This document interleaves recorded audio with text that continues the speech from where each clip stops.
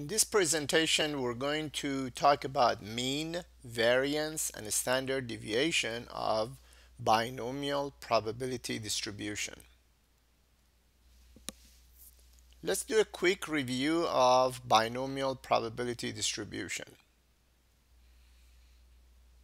For a discrete random variable x with probability p of x, the sum of all probabilities should be 1 any probability should be between 0 and 1 inclusive. We should have fixed number of independent events. Each event can only have two outcomes. One is success and the other one is failure. And the probability of success and the probability of failure remains the same for all n independent events.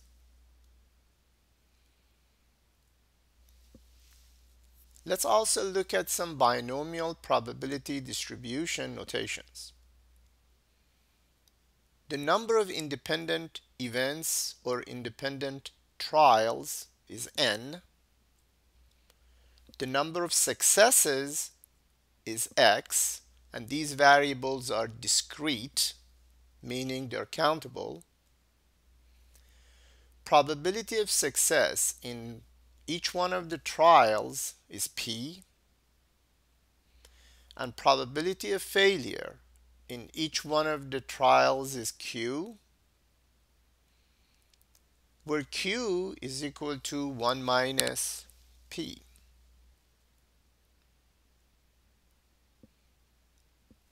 So now how do we find mean, variance, and standard deviation of binomial probability distribution? So given a binomial probability distribution for n independent events with the probability of success p on each event, the mean will be mu and the formula is n times p. Variance is sigma squared and the formula is n times p times q. And a standard deviation is sigma and as usual standard deviation is always the square root of the variance. So these are the three formulas that we're going to be working with.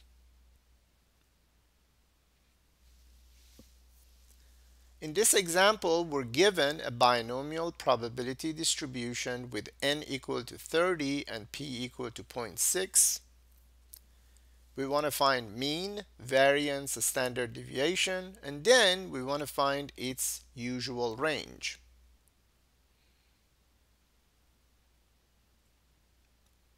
First, we find q, So since P is 0.6, then Q is 0.4.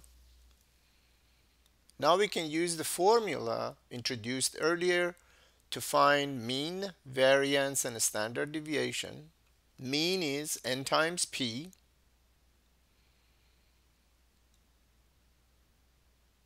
So the mean for this binomial probability distribution is 18. The variance, sigma squared, is n times p times q.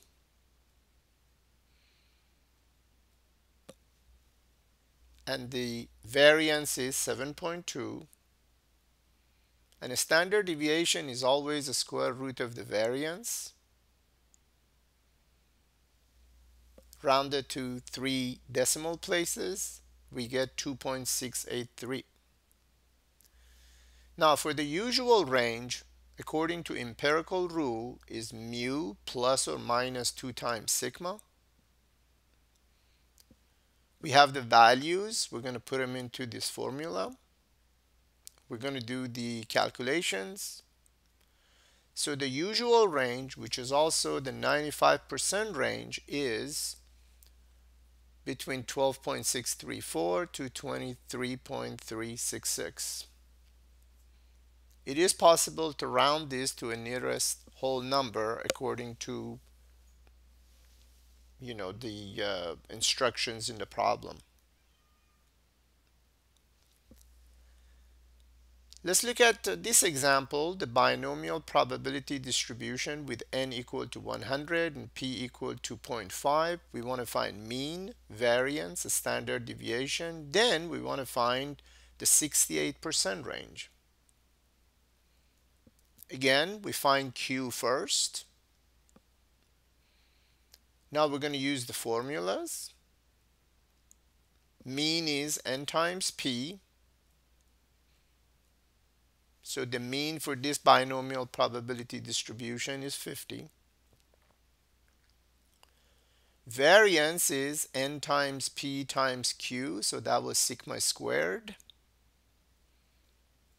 We plug in the values, and the variance is 25. And standard deviation is always the square root of the variance.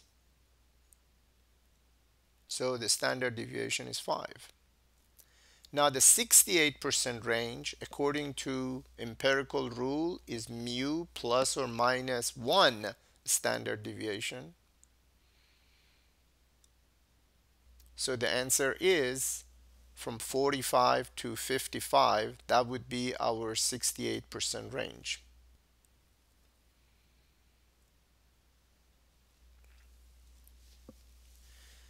In this example, an online real estate school claims that 80% of the students who have completed their courses would pass the state-sponsored exam. If we randomly select 400 of their students who have completed successfully their training and course content, we want to find the mean for the number of students that finish successfully the state-sponsored exam. And we want to find the standard deviation and then we want to find the usual range. So from the problem, we get n equal to 400, p equal to 0.8, and q equal to 0.2. Now for the mean number of students, we use the formula again. And the answer is 320. For the standard deviation, we know that the standard deviation is the square root of the variance. The variance is n times p times q.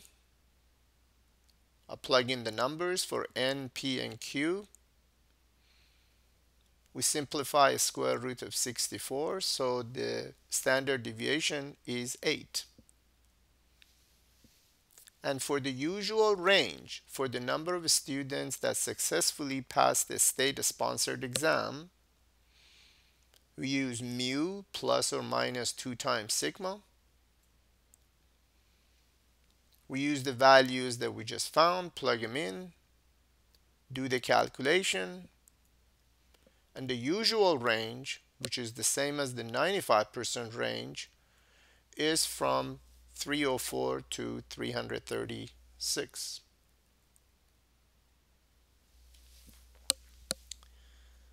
Okay, an airline claims that 95% of passengers with ticket actually show up for the flight. The airline overbooked a flight by selling 140 tickets for the aircraft that has 136 seats we want to find the mean and a standard deviation for the number of passengers that have purchased tickets and actually show up for the flight. So once again, we obtain that n is equal to 140, p is equal to 0.95, so q has to be 0.05. Mean will be n times p. We plug in the numbers, and the mean number of passengers with ticket that show up for the flight is 133. And a standard deviation is again a square root of the variance. Variance is n times p times q. We plug in the numbers. we do the calculation. So a standard deviation is approximately 2.579. I hope this presentation helped you understand how to find mean, variance, and standard deviation for binomial probability distribution.